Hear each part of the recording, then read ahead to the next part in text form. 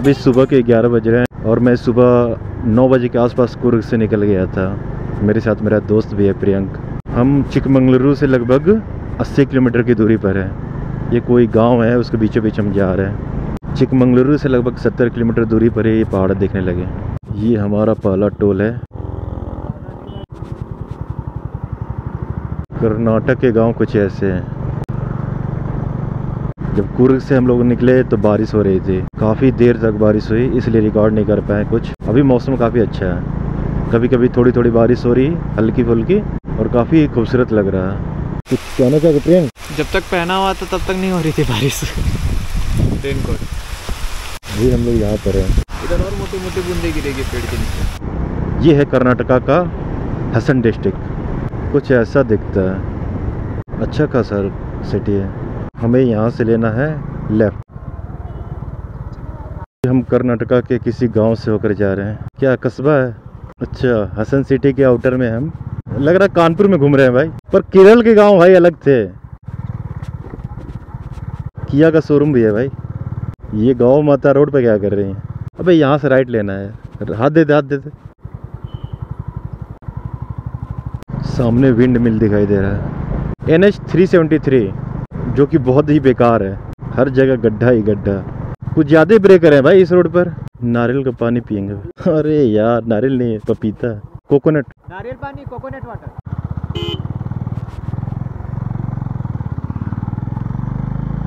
यहाँ पर बहुत सारे आदिवासी ऑयल जो आजकल फ़ेमस है वो दिख रहा है। चिकमंगलुरु सीधे जाना है हमें। कौन सा सिटी है? नेहरू नगर। ये गणेश जी का मंदिर है।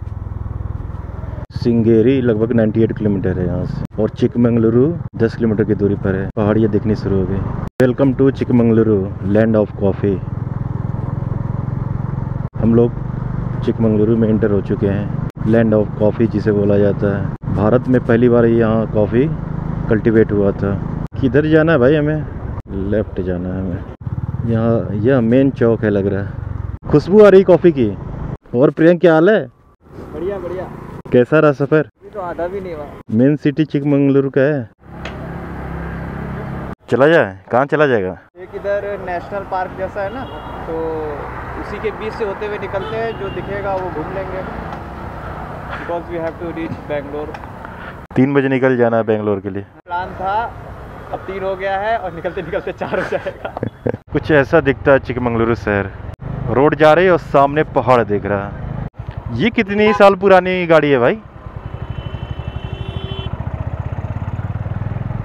बेंगलोर से सिर्फ़ 220 किलोमीटर की दूरी पर। जो बेंगलुरु में जॉब करता है, वो वीकेंड पे आ सकता है ना? थैंक यू विज़िट अगेन लिख दिया। चिक चिकमंगलुरु शुरू होते ही खत्म हो गया है तो। हम लोग कहाँ आए भाई? ओ भाई साहब, खूबसूरत खूबसूरत खूबसूरत। यहाँ से लेफ़्ट मुड़ना हमें। काफ़ी खूबसूरत लग रहा है यार। यहाँ हमें टिकट लेना पड़ेगा क्या? पानी की बोतल सब इधर फेंक दिए। टेन रुपीज़ दे दे। टाइमिंग है six P M to six A M closing closing time था भाई। कौन सा फॉरेस्ट है ये? काहे मारा प्रियंक, अंदर भी पेट्रोल पंप है। कितना सही लग रहा है अबे। यहाँ बाइकर जा रहे हैं। एक तो अपने पास शब्द की कमी होती है भाई। कोई जो फील करते हैं, वो शब्दों में पिरो नहीं पाते। देख लो भाई लोग। ये देखने के लिए हम लोग आते हैं। क्यों प्रियंक? ये क्या, ये किधर जाएगा रास्ता?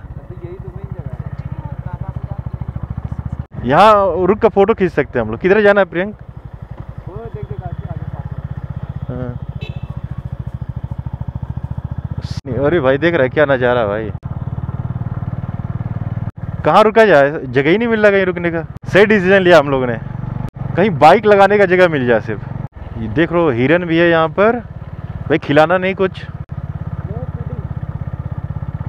ओ भाई साहब, इधर कहीं लगा क्या कहना चाहोगे प्रियंक? कहना भी चाहोगे कि कोई शब्द नहीं है तुम्हारे पास? क्या बोलते हैं जब शब्द नहीं होता? यार ना, हम लोग की साला ढंग से इंग्लिश तो सही हो पाई ना, ढंग से हिंदी। धोबी के कुत्ते लाल हो गया भाई, ना घर के, ना घाट के। अगर सौरभ देख रहा है, अंकित देख रहा है, राज देख रहा है, भाई, क्या कर रहे हो यार तुम लोग? कितना पैसे छापोगे? खड़ा तेरा फ़ोटो ले लो। कुछ ऐसी दिख रही है अपनी बाइक। प्रियंक, वही खड़ा, बहुत अच्छी फ़ोटो आ रही है, यहाँ खड़ा बाइक पर। बहुत सही। चलो आगे चलते आगे और नज़र मिलेगा। चलो बैठ जाओ। बैठना भी अपने आप में एक चैलेंजिंग टास्क है। यार पता है साढ़े पाँच घंटे लगेंगे। ठीक है ठीक है बैठो। हाँ भाई बैठो। कितना वज़न है तुम्हारा? ले दे के पचास किलो। उतने का डम्बल उठा लेते हैं। पकड़ भाई। अरे यार। वो चढ़ाई में कोने में चढ़ते फिर बेंगलोर के लिए कल निकलना पड़ेगा। मैप तो लगा ले भाई। अभी भी सात किलोमीटर की दूरी पर है जहाँ हम लोग जा रहे हैं। वो प्रियंक भाई। क्या देख लिया भाई?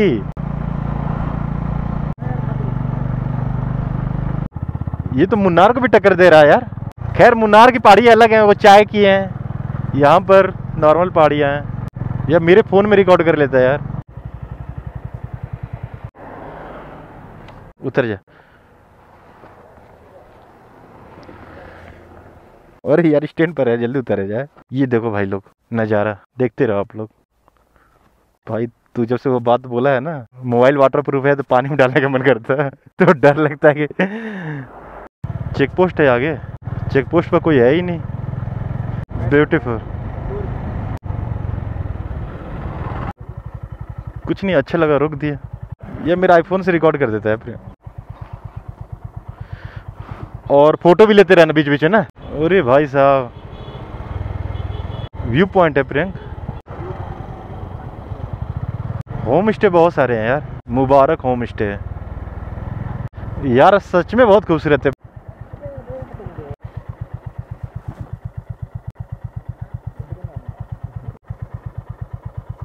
चलो, पढ़ा रहा हूँ। भाई, ये वाटरफॉल है क्या?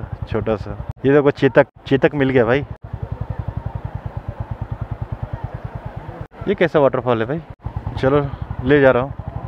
हाँ। भाई मैन मेड वाटरफॉल है। 360 डिग्री व्यू दे दिया हमने। अब चलते हैं।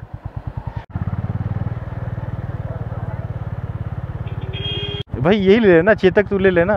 बाइक एक में क्या रखा है?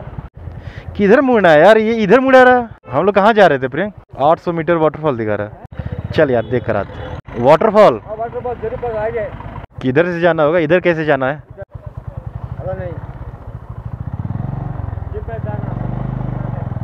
ठीक है ठीक है ठीक है। इधर अलाउ नहीं है भाई लोग। लौट जाए क्या प्रियंक? चलो देख कर आते हैं यार। आधे घंटे और से। हाँ ये भी सही है। देख लो। कुछ तो होगा ही वैसे मैं रोक ले रहा हूँ यहाँ पर। लग तो अच्छा रहा, सामान कहाँ रखेंगे? अभी ऊपर भी रोड जा रही है। प्रियंक एकदम ऊंचाई पे जा रहा है, देख रहे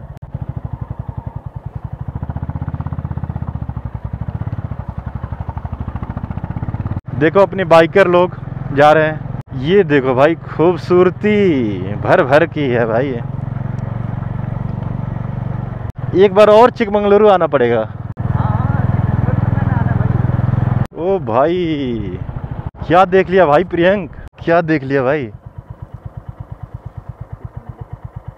भाई, चिकमंगलुरु सबको आना चाहिए ना? ये नज़ारा मिस हो जाता। हम लोग का डिसीज़न सही रहा। देखो, गैया माता यहाँ भी हैं। ये है खूबसूरत चिकमंगलुरु, खूबसूरत कर्नाटका, खूबसूरत इंडिया। हाँ भाई भाई, दोबारा फिर आऊँगा। भाई मुन्नार को रिप्लेस कर दिया चिकमंगलुरु ने, ना? यहाँ पर बाइक चला रहे हो, तुम समझ रहे हो? भाई यार, सबको आना चाहिए, जो देख रहा है वीडियो इसको आना चाहिए चिकमंगलुरु। बाइक लेकर आओ। और यहाँ पर कोई डिफ़िकल्ट नहीं बाइक चलाना, समझ रहे हो? बहुत ईजी है। और नज़ारे भरपूर है। सबसे टॉप पहुँच गए भाई। सबसे टॉप पहुँच गए। नहीं यार वो गाड़ियाँ और ऊपर है यार। यहाँ पर पार्किंग है। ये देखो ऊपर और जा रहा है भाई प्रियंक। गाड़ी नहीं जाएगी। और ये आगे का रोड खराब है क्या? आगे ऑफ़ रोड है। मुड़ा ले क्या? भारी आज गाड़ी भारी है। आप ये जीप भी ले जाते हो क्या? कितना चार्ज है? थ्री हंड्रेड रुपीज़ लेते हैं बंडल पर पर्सन थ्री हंड्रेड नहीं यार ऑफ़ रोड करने का मन नहीं है। भाई, कल ही में वो नीचे लगने लगी थी गाड़ी, दो लोग में। आज तो और सामान है। घुमा लो।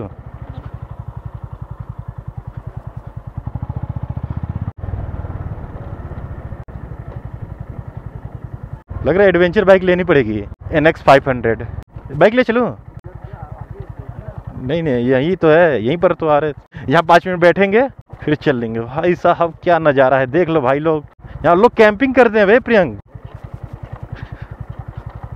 भाई, यूपी से यहाँ का सफ़र मुश्किल था। प्रियंक, थोड़ा रुक जा रुक जा। प्रियंक, कुछ कहना चाहोगे लोकेशन के बारे में? अब पाँच, दस मिनट यहाँ बैठते हैं उसके बाद चल लेंगे, ना? किधर से आए थे हम लोग? अच्छा उधर से आए थे।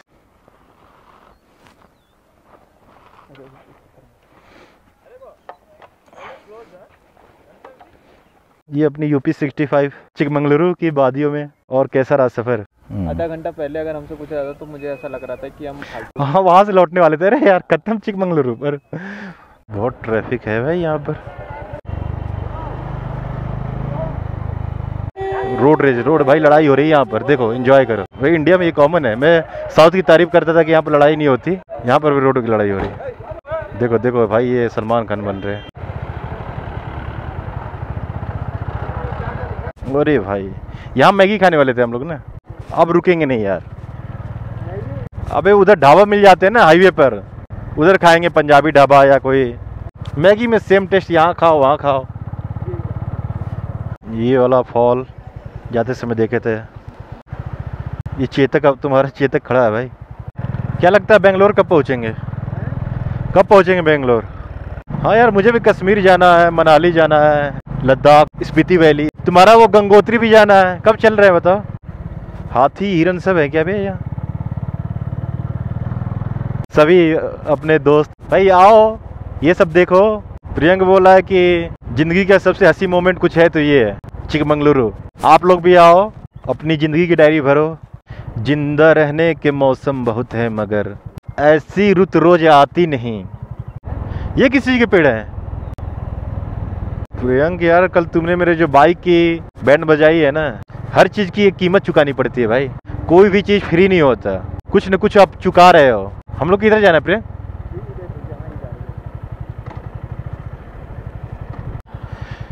यहाँ पर है क्या? जगह का नाम क्या है, वैसे बता दो। नेचर रोस्ट क्या है? ये है चिकमंगलुरु का एमजी रोड अच्छा दिख रहा है बे देख चौड़ी चौड़ी रोड है ना। रोड देख रहे कितनी चौड़ी है? इतना बनारस में कहीं नहीं है। बनारस पुरानी सिटी है ना ये नई सिटी होगी हाल ही फ़िलहाल में बसी होगी कानपुर चप्पल मेला। हाँ दुकान का नाम था। सही बता रहा हूँ झूठ नहीं बोल रहा। तो झूठ क्यों बोलोगे भाई तो भाई कनपुरियों का ना यही प्रॉब्लम है। रहते कानपुर में और इनकी भावनाएँ स्विट्जरलैंड वाली होती है। अंकित का डायलॉग याद आ रहा है कि दिल लगा गद्दी से तो परी क्या चीज़ है। भाई रेस्टोरेंट देखते रह। ये कौन सी मंदिर है क्या ये? श्री राम स्वीट है, खाओगे कुछ? क्या मिल रहा है? वैसे देख लेते रुक कर यहाँ से। बकायदे खाना ही खाना। ये देख प्योर वेज दिख गया सामने। तो हाँ तो कहाँ खड़ा करूँ? ये स्कूटी थोड़ा साइड में लगा।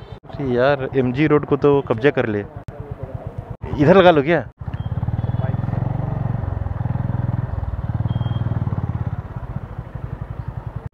अंदर से गाली देगा। उनके दुकान के सामने लगा रहे हो ना? भाई यार,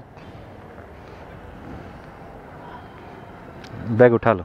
रुक जाए उसमें ये भी डालकर, मोबाइल डालकर सब डाल देता हूँ उसमें।